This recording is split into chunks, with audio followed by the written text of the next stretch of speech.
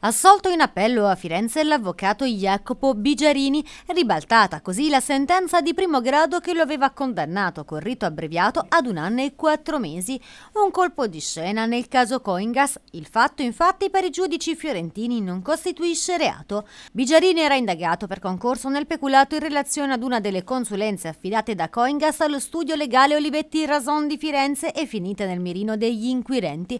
Per quella stessa consulenza erano stati condannati anche anche l'ex amministratore legale fiorentino Livetti Rason che ha presentato appello.